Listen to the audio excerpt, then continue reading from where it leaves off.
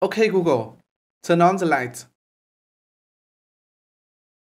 Dạo này thấy trò thả cá test máy hot quá nên là mình cũng cần phải thử ngay trên con điện thoại mạnh nhất của Apple vào thời hiện tại đó là iPhone 12 Pro Max để xem xem nó thả được bao nhiêu con cá. Hiện tại mình đã không bật đa nhiệm và dùng trình duyệt Safari.